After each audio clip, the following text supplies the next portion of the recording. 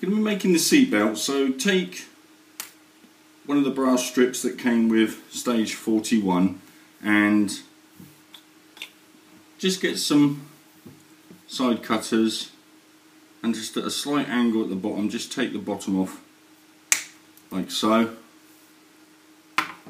Okay and what we're going to be doing is we're going to be making up a seat belt so go from the center of the seat like so lining that up. Okay if you can see that. Like so. And then just slightly above that probably by about three or four millimeters. Just cut that. And then place it back on the seat. And then bend the brass over the back like so you might need some pliers here to do that just to bend it into position so it forms around the seat and then glue that down. Once you've done that, do exactly the same for the other side.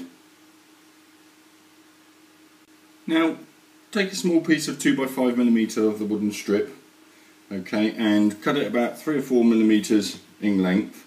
Then take a little piece of your brass strip that came and cut a piece small enough so that when it sits in the middle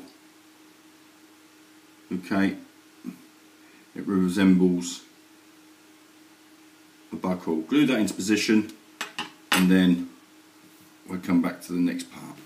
Now take your brass strip that you had before and the remaining part that you had, cut it to the length so that it will sit nicely in there like so.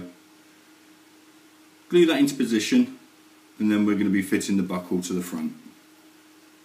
Once you've done that, place the buckle into position and glue it into position and then if you so desire we can paint the wooden area silver and the brass areas brown to simulate leather.